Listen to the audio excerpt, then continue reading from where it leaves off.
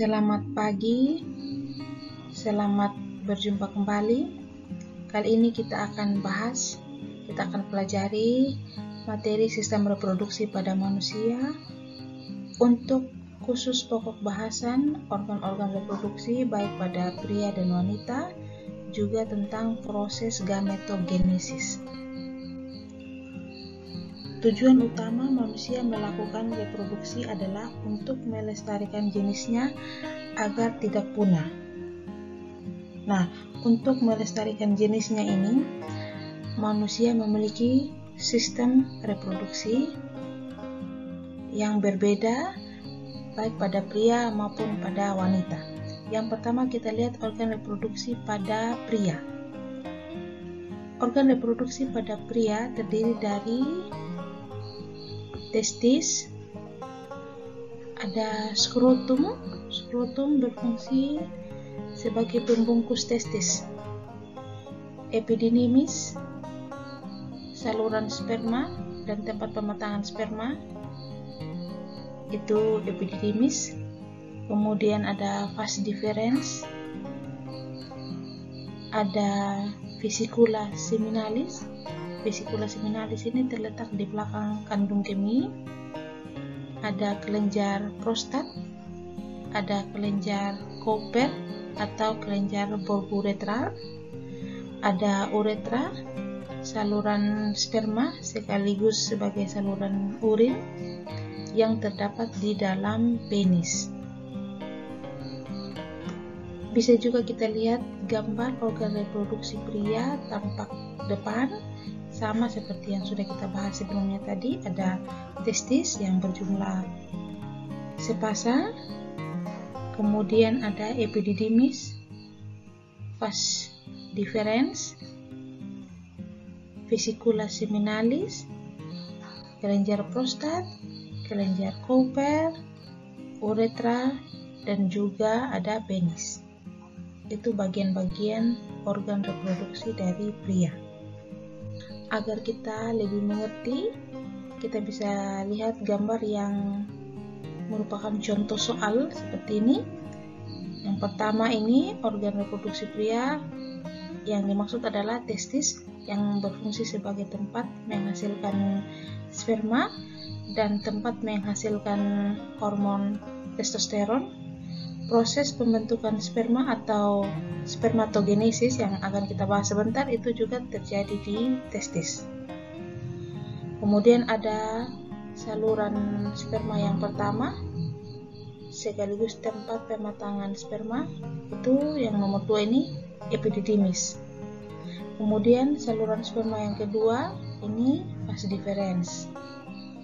Kemudian yang ditunjuk oleh nomor 8 ini yang terletak di belakang kandung kemih itu adalah vesicula seminalis merupakan kelenjar aksesoris yang berfungsi menghasilkan nutrisi untuk memberi makan sperma. Kemudian ada kelenjar prostat juga termasuk kelenjar aksesoris dan ada kelenjar borburetral atau kelenjar Cooper yang juga merupakan kelenjar aksesoris yang berfungsi menghasilkan senyawa alkali yang bersifat basah.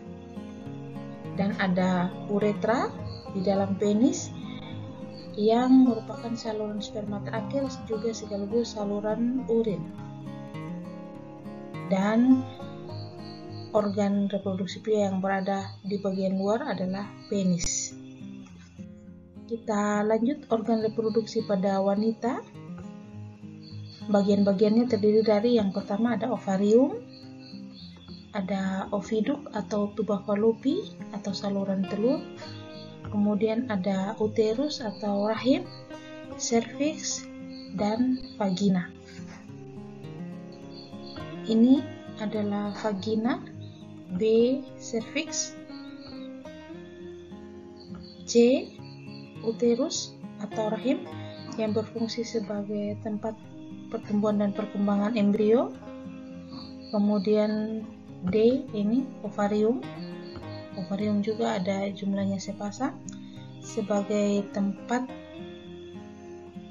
dihasilkannya ovum dan hormon estrogen dan progesteron.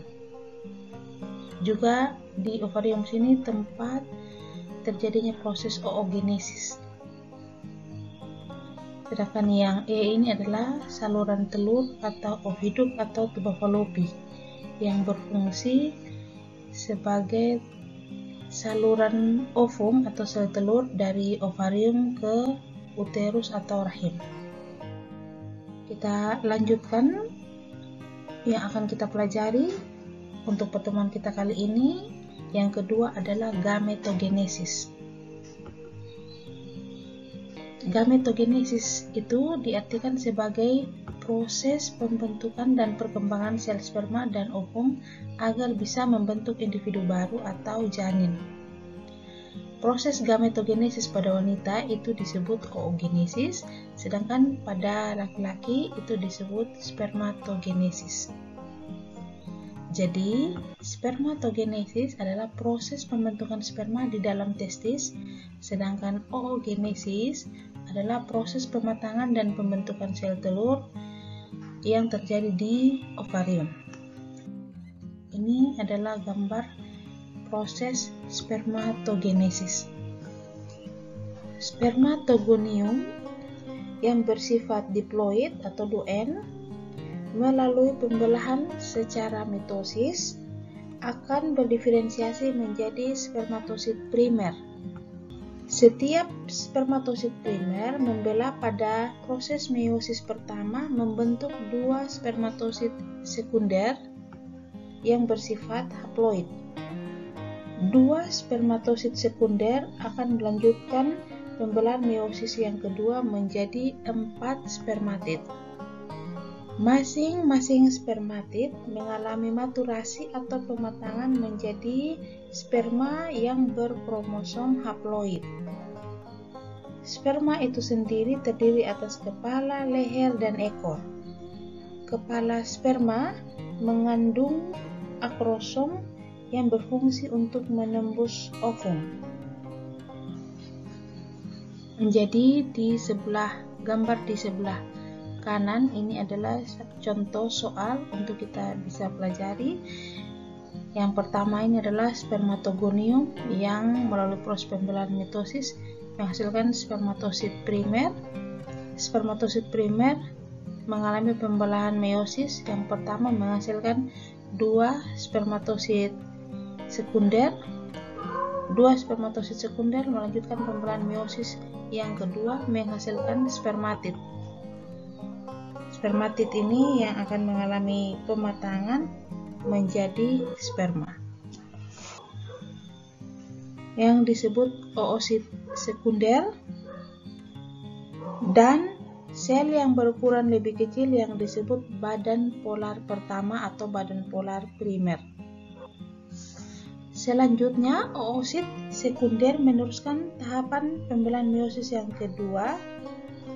Namun, pada meiosis yang kedua, oosit sekunder tidak langsung diselesaikan sampai tahap akhir, melainkan berhenti sampai terjadi ovulasi.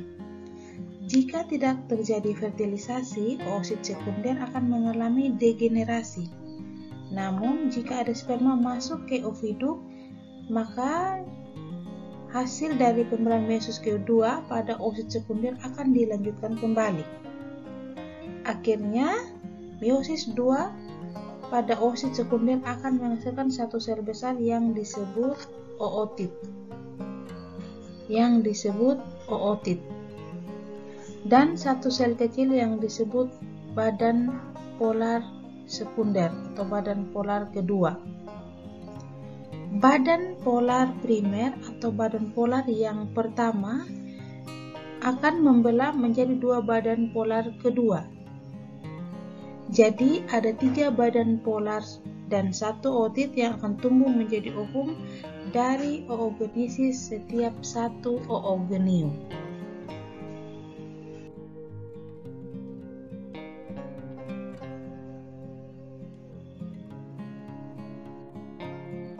Demikian penjelasannya, semoga bisa dimengerti. Terima kasih.